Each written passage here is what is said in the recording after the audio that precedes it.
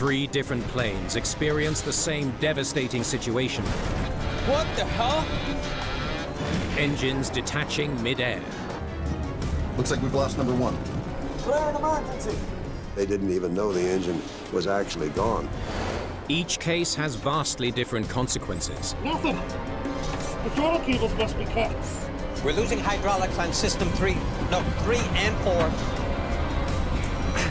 300 feet, we're losing altitude. Three separate crews must use all their skills to get their passengers to the ground safely.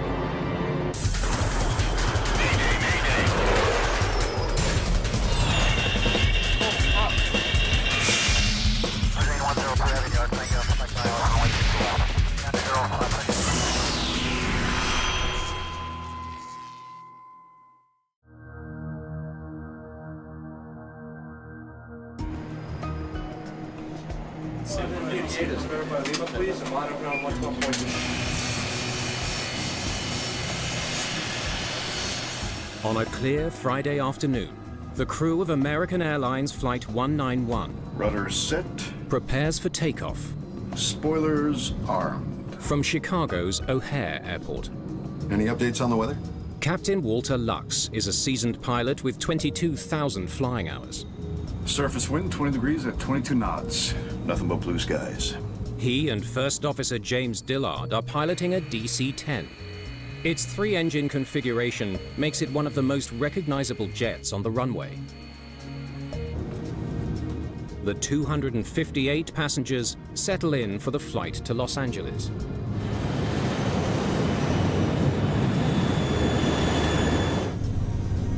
V1, rotate.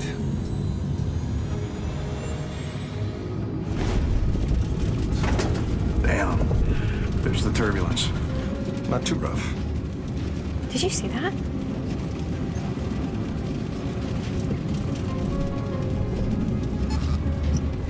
I've lost power to my side. The captain's instrument panel has gone dark. Looks like we've lost number one. Power in the left engine has gone. You have to keep going. You have to climb out.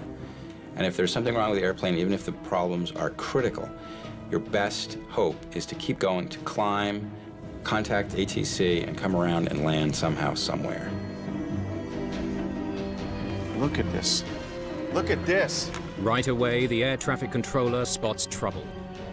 Equipment. I need equipment. He blew an engine. We're banking. Go right, go right. The plane is just 325 feet from the ground, but it's banking sharply to the left. I can't hold it. What's going on? The pilots can't achieve the altitude they need, and they bank even further. I'm losing it. Go right, go right. Come on, come on. 300 feet, we're losing altitude. Witnesses on the ground can clearly see Flight 191 flying on its side. We're still turning. Level, baby, level. Brace, brace, brace. There he goes.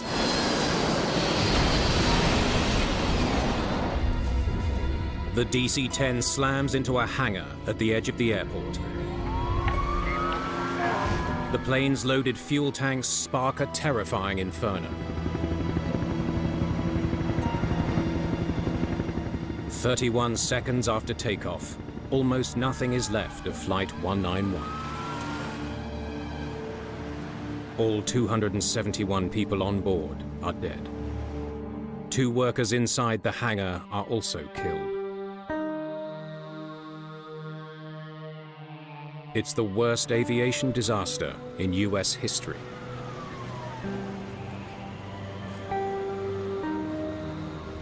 A lot of people saw this happen.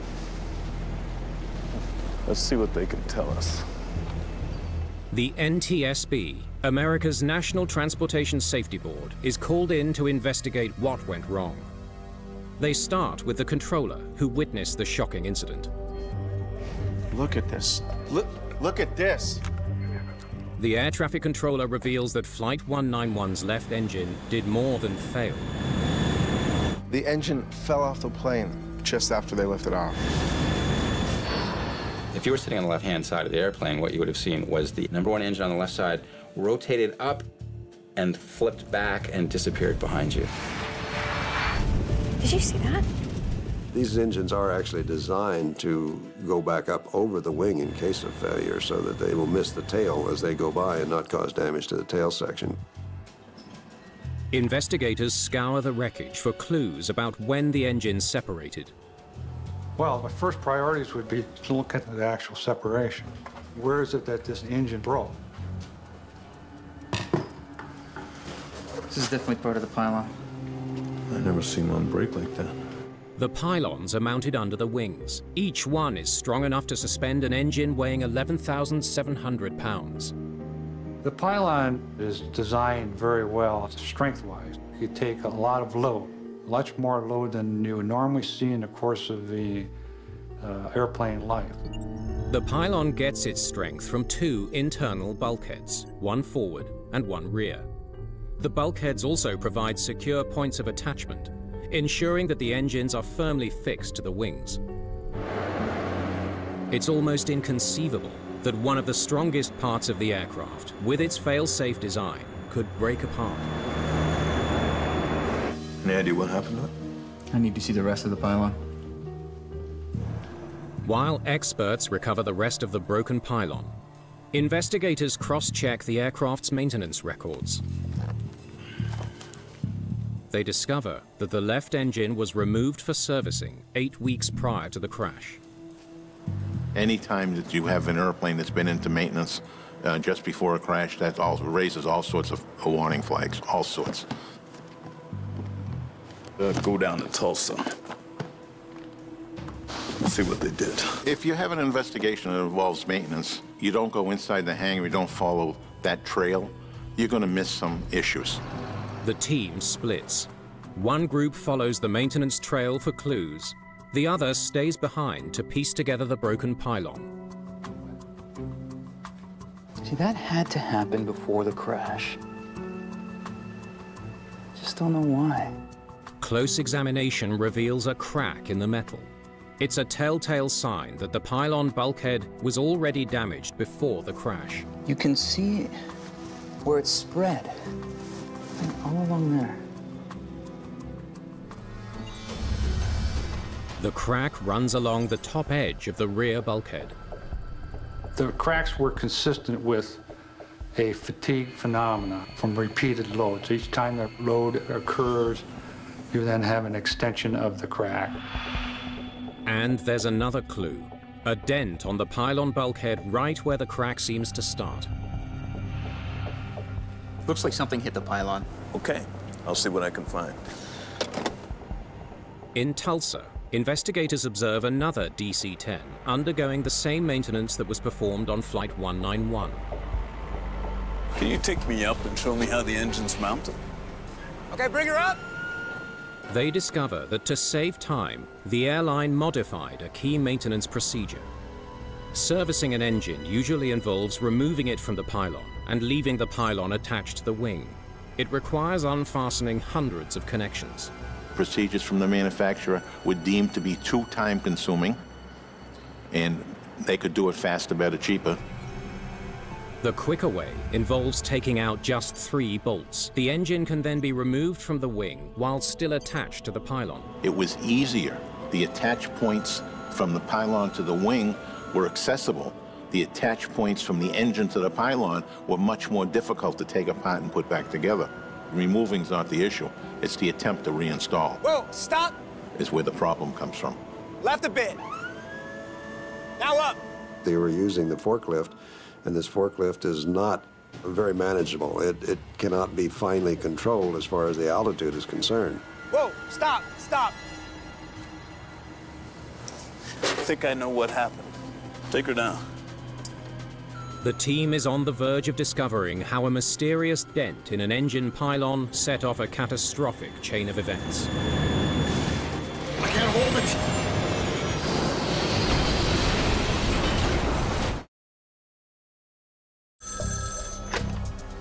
What do you got? NTSB investigators learned that a maintenance crew struggled to reattach the pylon into the mounting bracket, or clevis, of Flight 191 just weeks before the crash. And, and then it all came together. The clevis itself had produced this deformation that was on the fracture. The team concludes that the clevis on the doomed plane must have slammed into the pylon bulkhead as the engine was being reattached. The impact could have initiated the crack that led to the pylon's failure. Each time the plane took off, the stress that the massive engine put on the pylon made the crack larger. The engine is not only imparting a thrust load, but it's also imparting a sideways load. So each time you have this load, it breaks a little bit more and more and more. The team now understands what caused the engine to tear off. But that doesn't explain why Captain Lux wasn't able to land. The plane was in bad shape. It had lost an engine. It had lost several critical systems. But it was still airworthy and was still able to fly. In fact, uh, you could lose a second engine shortly after liftoff and you would still be able to power the aircraft around. Photos taken just before the crash provide investigators with a vital clue. Is that hydraulic fluid? Several of the DC-10's hydraulic lines run along the leading edge of the wing. Take a look at this. It's the area that was damaged the most when the engine broke off. We need to see those slats. American 191, thank you. Taxi and hold, runway 32 right. Flaps and slats to 10. Deployed at takeoff, the slats increase the wing's surface area, which enables pilots to climb at lower speeds. Investigators discover that while all the slats on the right wing were extended, some slats on the left wing were not. You have one wing that is flying and the other wing that isn't. The team determines that the engine tore away from the wing with enough force to rupture the hydraulic lines. The fluid keeping the slats extended on the left wing would have drained quickly. I can't hold it! Without fluid, some slats on the left wing retracted, causing that wing to lose lift. The plane began to roll left. I'm losing it!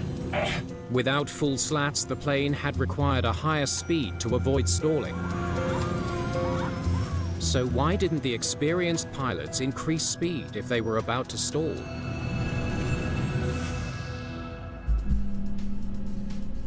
To find out, investigators recreate the takeoff in a simulator.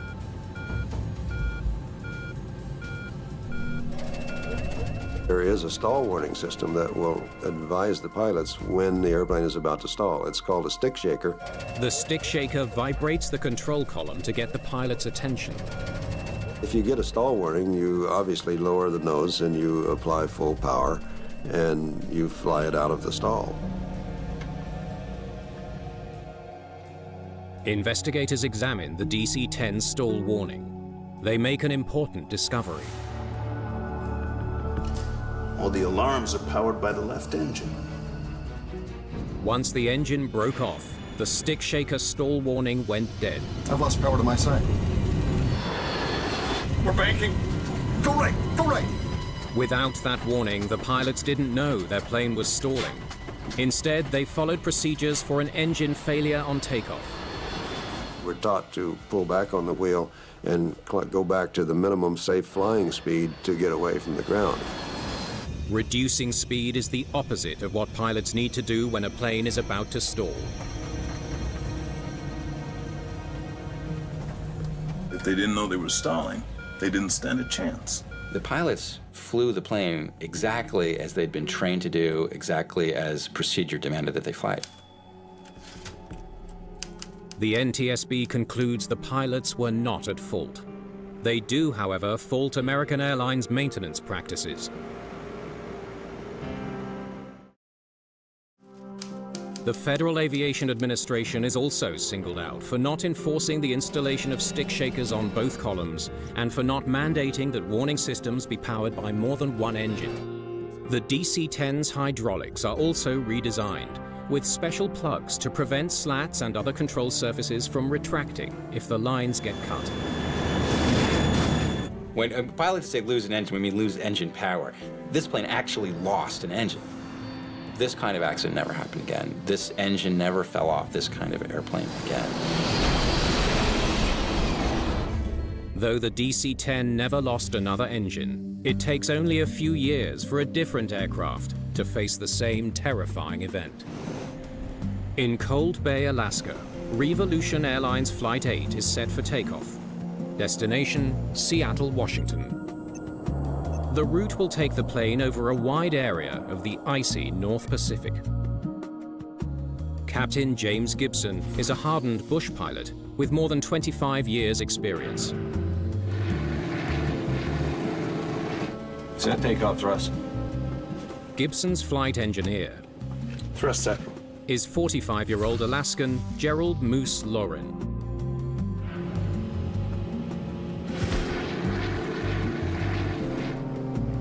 His first officer is 39-year-old Gary Lintner. Generally, we flew that route once a week. On this particular day, we were scheduled for five hours of flying time. Gear up. Gear up. They're flying a Lockheed L-188 Electra, powered by four turboprop engines.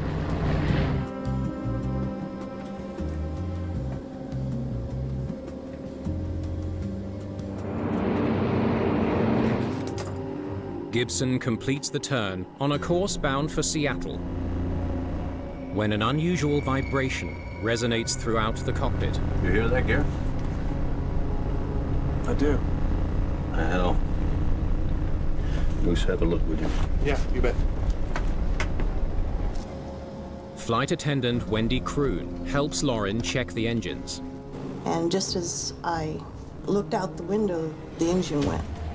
As the prop came off, I thought, oh crap, it's gonna kill me. It's gonna cut me in two. But it flew forward and then it came back and slapped the engine and then went underneath.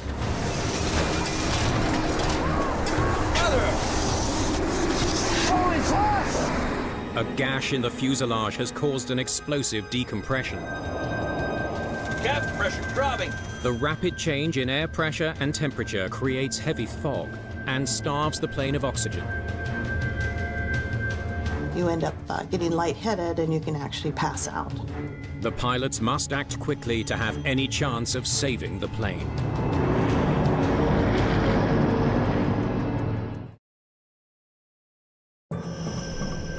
In the cockpit of Reeve Aleutian's Flight 8, Captain Gibson and First Officer Lintner attempt to regain control of the aircraft. When the fog cleared, I saw out the window that we were in a right turn. The damaged plane has veered off course and is now flying northwest towards the Bering Sea. And so I naturally grabbed the yoke to try to level the wings. Jam! No ailerons either. It felt like the yoke was in concrete. It just felt solid as a concrete block. Meanwhile, Wendy Kroon and Moose Laurin spring into action.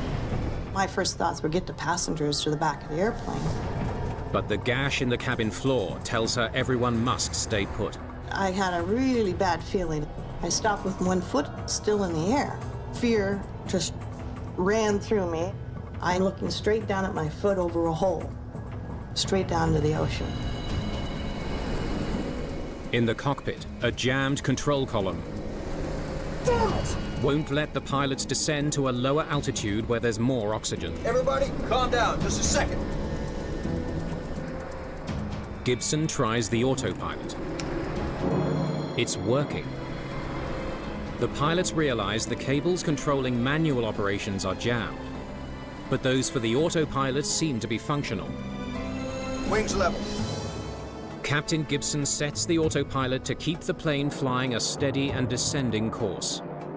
Now he needs to slow it down. Its high speed could tear the damaged plane to pieces. Full power back to 2000. Look! Nothing! When his hand moved those throttles back and the horsepower gauges didn't move, I, boy, I'll tell you what, I said, man, I wish I'd have called in sick. This is about as bad as it can get. The throttle cables must be cut. The pilots can't reduce their speed. Let's see if we can get turned around. Gibson sets the autopilot to make a right turn back towards Cold Bay. But the plane goes into a rapid rolling turn. The autopilot's lateral control must also be damaged. Scared the living crap out of all of us. Gibson has no way of steering his airplane. The crew and passengers are heading straight out to sea. Declare an emergency. Mayday, mayday. This is Reeve Flight 8. Number four. Flight dispatcher Richard Huff receives the call at the Reeve base in Anchorage. Got nothing. Reeve 8, understand. No flight control. Confirmed. No, no, no, negative. We got no manual control, but uh, autopilot, vertical control kind of working. Uh, approaching 10,000 feet. Dropping at 10,000 feet. Okay, we got you. The autopilot brings the Electra down low enough for everyone to breathe comfortably. Thank God. It's now safe to remove your masks. Yet Gibson still can't move his column enough to turn back. And I thought, well, hell, maybe I can do that. So I reached up and I grabbed the yoke and I just, I moved it. Whoa! Lintner moves his column just enough to turn the plane slightly. Now at least we knew that we could overpower or help the autopilot. So that meant that probably our control cables were not severed. The pilots combined their muscle to force the plane into a right bank towards Cold Bay. The wide turn will get the plane on course, but won't provide the precision needed to touch down. We can't land like this. No chance in hell. The older Electra is not equipped to land on autopilot. The landing has to be performed manually. But there's a bigger problem. The plane is still traveling too fast to land. The captain needs a longer runway. Reeve 8 dispatch. Considered flight direct to Anchorage. Over. Richard Huff proposes something risky. Fly 440 miles northeast towards Anchorage Airport, which has two long runways. This thing's a damn tank. We'll make it. Okay, dispatch. We are flying to Anchorage.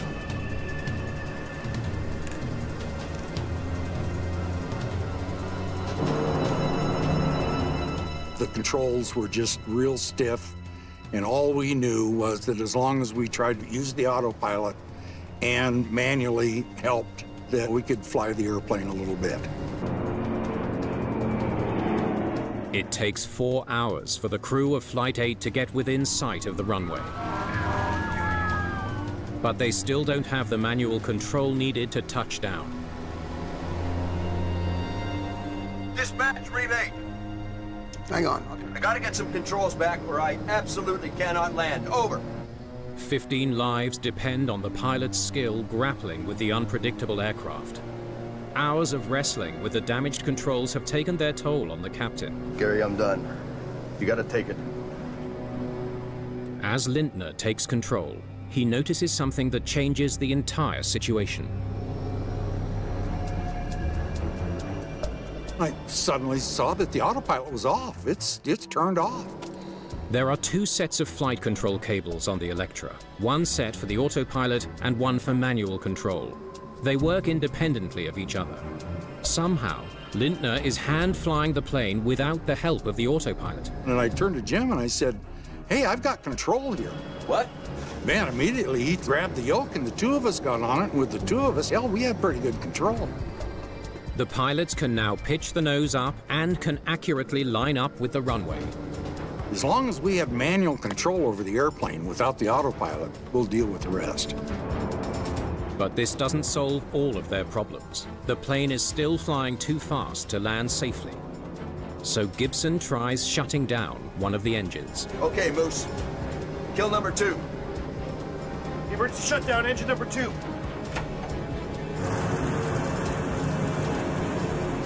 Their speed drops, but not enough. Our problem was that we were just going too fast. Gibson cannot slow down the speeding plane, but he must land the plane now.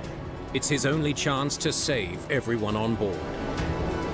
Let's do this.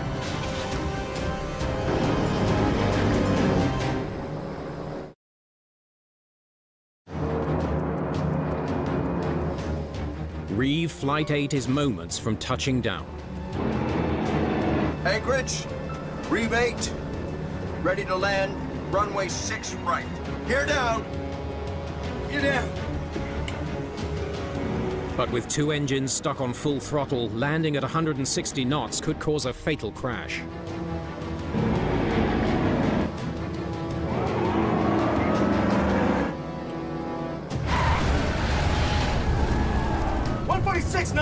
The plane hits the ground 15 knots faster than it should. Gibson needs to act fast. Cut all engines. Emergency shutdown engines one and three. It's a risky move. Cutting the engines slows the aircraft, but it also severs power to the hydraulic brakes and the steering.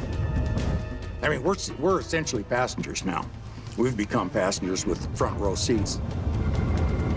The plane hurtles forward at tremendous speed.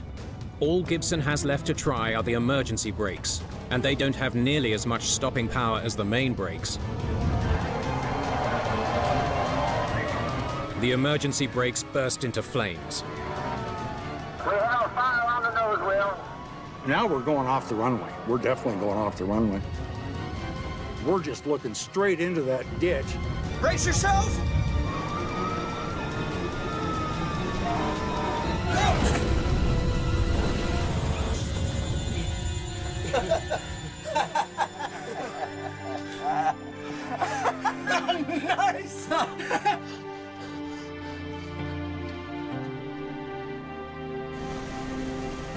Terrifying ordeal is finally over. Captain Gibson and his crew have landed a shattered plane and saved the lives of everyone on board. Sometimes pilots have to fly by the seat of their pants and they have to rely on their instincts. What is that really? It's experience and training. The exceptional airmanship of Flight 8's crew prevented tragedy on the runway. Now it's up to the NTSB and lead investigator Ron Schleede to find out what happened to bring Reeve Flight 8 so close to disaster. They study the wrecked plane. The wreckage really didn't give us much of a clue uh, because what we needed to look at was gone. The propeller and the gearbox it was attached to are both lost at sea. The team turns to the flight data recorder, but it too is of little use in determining why the engine tore off in midair. The flight recorder on this airplane was a very rudimentary recorder. It, it records by a stylus scraping a metal foil. And so it's not a very scientific thing compared to what we have today. But they still have to answer the crucial question, why was Gibson's plane so hard to control? The loss of a propeller is not necessarily catastrophic. It's designed to fly with only half its engines. And still, with three engines intact, Gibson could barely maneuver the plane.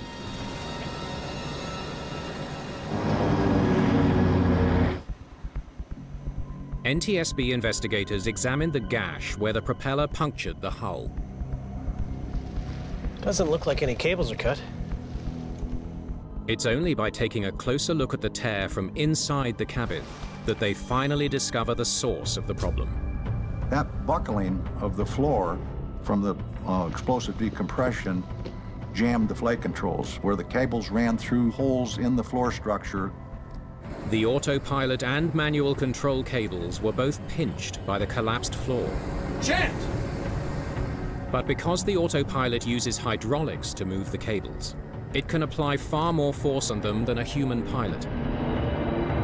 This is why the autopilot was able to control the plane ever so slightly. Hey, I've got some control here. What? But if the manual cables were jammed, why was the crew suddenly able to regain the control they needed to land the plane? A closer look at the pinched cables provides the answer. Looks like they sawed their way out of this mess. They kept pulling as hard as they could on the yoke, pushing and pulling, turning. Come on! Deep scars in the hull's joists reveal what happened. The pinched control cables gradually carved grooves. They were actually cutting right into the metal during the long flight before they landed. That gave the crew enough maneuverability to line up with the runway. Anchorage, Reeve 8, ready to land, runway 6 right. Reeve 8, clear to land, runway 6 right. But it's Gibson's quick thinking that saved the day.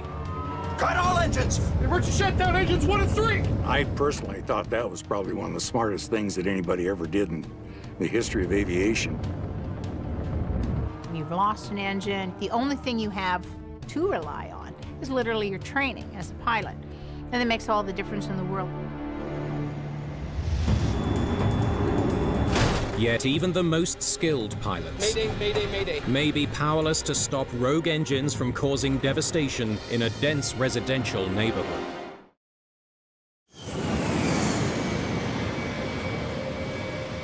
Amsterdam Schiphol Airport. An El Al cargo jet is fueled and ready to depart for Tel Aviv. El Al 1862, good evening. Good evening, El Al 1862. Line up in sequence 01 left. Roger. The Boeing 747 is under the command of Yitzhak Fuchs. He earned his wings in the Israeli military. Gedalia Sofer is the flight engineer. Clear for takeoff 01 left, roger. First Officer Arnon Ohad will be handling the controls for this flight. On the roll.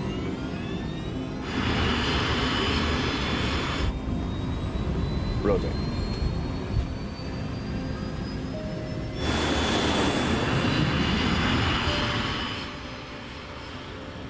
Engines are looking good. Climb power is set. For the first seven minutes of the flight, the plane climbs steadily over the Dutch capital.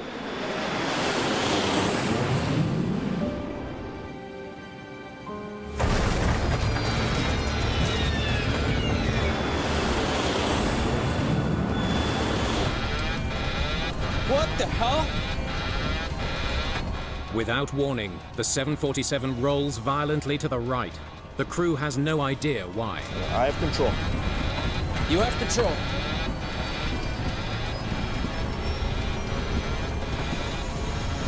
Engines 3 and 4 are out. Both engines on the right wing have suddenly died. The captain tries to level the plane. We're losing hydraulics on system 3. No, 3 and 4. Critical flight controls begin to fail.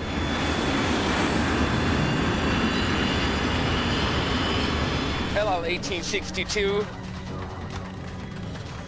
Mayday, mayday. We have an emergency. El Al 1862, do you wish to return to Schiphol? Affirmative. Mayday, mayday, mayday. We need to land. See if they can get us down on runway 27. Request runway 27 for landing. In that case, heading 360, heading 360. You only have seven miles to go from current position. Damn it. There's no way that we can slow down at this distance. Captain Fuchs decides to descend and turn over Amsterdam, so he can lose speed and altitude before coming in for an emergency landing at Schiphol Airport. Flaps 2.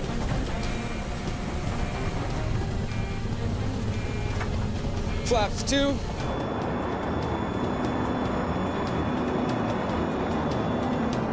All right, nice and easy.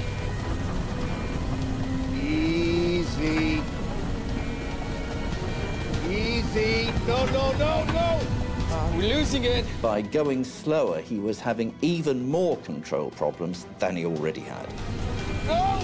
No, no, no! Come on! Going down! Going down. 1862 going down. I can't hold it. I can't hold it. Come on!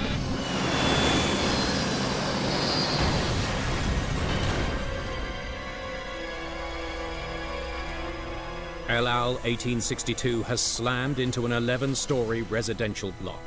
The building is engulfed in flames.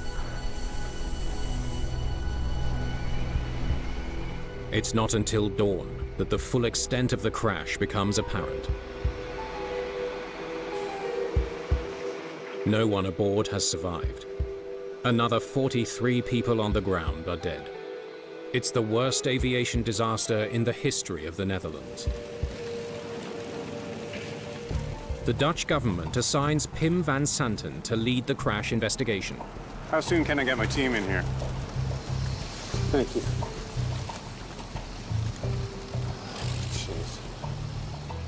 There was a lot of pressure, both from the public, from the press, to come up with some findings as quickly as possible. Dig in, guys! We need those black boxes! City officials have ordered the crash debris to be taken to dump sites around Amsterdam. That's where NTSB's Bob Benson joins the team. Hang on. That's an engine part. Goes over there. You'd be surprised how much uh, building debris, pipes and things can actually look like airplane parts. It gets confusing. Within hours, witnesses provide a stunning lead. Just minutes before the crash, they saw what looked like two jet engines falling into Lake Gooimeer, a lake east of the airport. Losing two engines for us was... We've never heard of that before.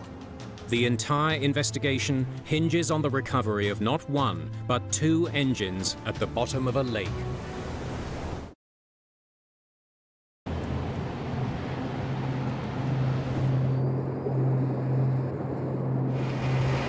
The search of the lake pays off. The team recovers the two missing engines from the right wing. Thorough examination leads investigators to discover an unusual streak of paint on the cowling of the inboard engine. Let's see if the lab can tell us where this came from. In the meantime, the team recovers the flight data recorder.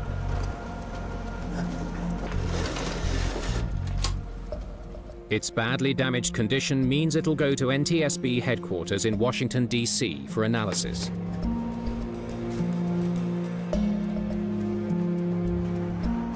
Any luck? The cockpit voice recorder is never found. But there's a break in the case when the paint analysis results come in. The paint found on the engine came from the cone-shaped spinner at the front of another engine. Get everyone together. I think I know what happened. Van Santen believes there's only one possible scenario to explain the unusual finding. Say, this is engine three. Paint transfer is right there. No way engine four could come forward, but if engine three came off first, it could fly back and the spinner would hit right here. In other words, engine three knocked engine four off the plane.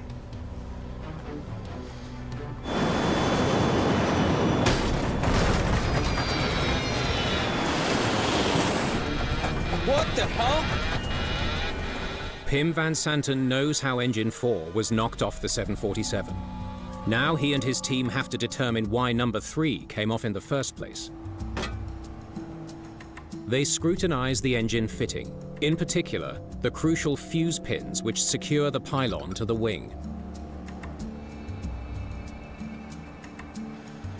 A metallurgical scan leads to a stunning discovery. There's a 4 millimeter crack on the inside of one of the fuse pins. If there's a micro crack in it, it weakens the entire structure and makes it easier to break. Once the fuse pin failed, the entire engine fitting would have broken apart.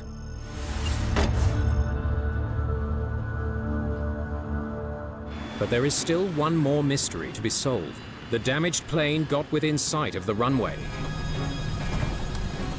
No, no, no! Come on! Going down! But why couldn't it make it all the way there?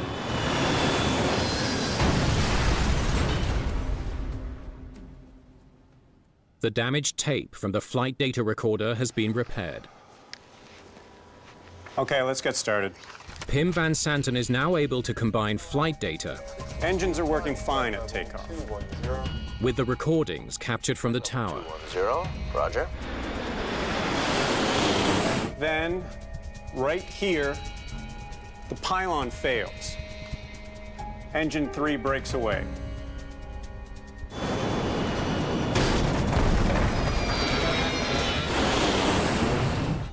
Engine 3 moves sideways, tears off the leading edge, and damages hydraulic lines before hitting engine 4. We're losing hydraulics on system 3, no, 3 and 4. With half the hydraulics inoperable, the massive jet becomes increasingly difficult to balance and control. Mayday, mayday, we have an emergency. They put out their flaps to slow down.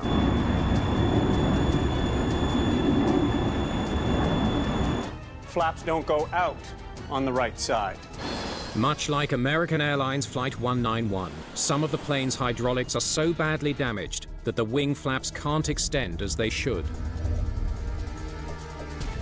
When the speed drops, so does the wing. Easy. No, no, no, no. We're losing it. More lift on the left, less on the right, causing a roll to the right.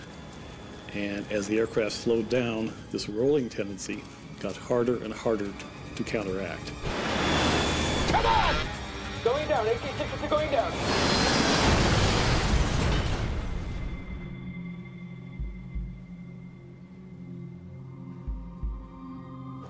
43 dead because of one small part.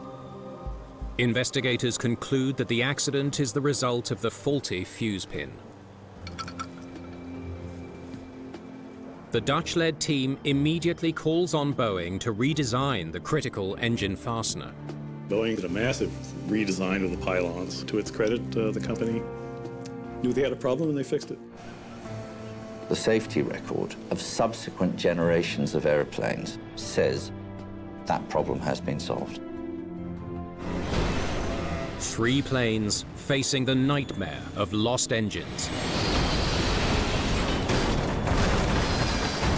Lives lost, lives saved. But vital lessons learned from each investigation have made the skies safer. Good investigations of incidents and accidents that do happen cause changes in the industry for the good. And that, I think, is why the accident rate worldwide has just plummeted over the years.